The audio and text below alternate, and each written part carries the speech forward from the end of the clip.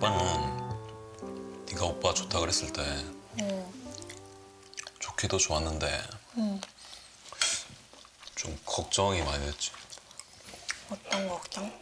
그냥 너무 대단하다고 생각했으니까 TV 나온 사람이고 공부도 잘했고 진짜 솔직한 대화가 저런 대화 너무 좋다. 너무 좋은데요. 근데 이제 완벽하다고 한 뒤에 하는 말들이 되게 자존감 높여주는 말들이에요 지금. 맞아 맞아.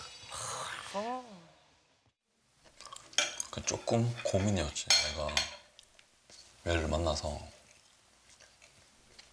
과연 아무런 데미지 없이 앞으로 쭉 잘 나갈 수 있을까?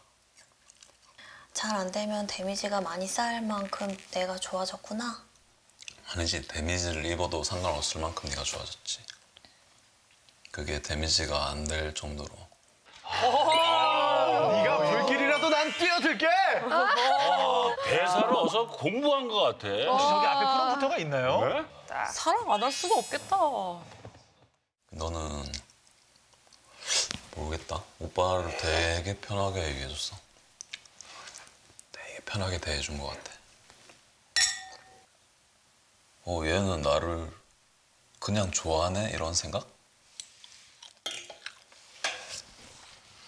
얘는 나에 대해서 궁금한 게 많은데 없네? 이런 거? 와그 말을 말 되게 정확한 말을 것 같아. 궁금한 게 되게 많은데 그거를 막 해묻지도 않고 그렇게 중요하게 생각하지 않아.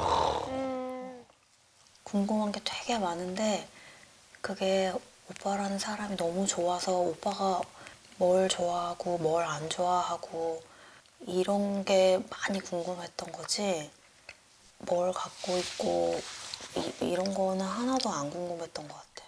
어머 어머 어머 어머. 자체를 사랑한다는. 드라마 대사 그냥 같다. 오빠다. 그냥 네. 내 마음은 오빠다.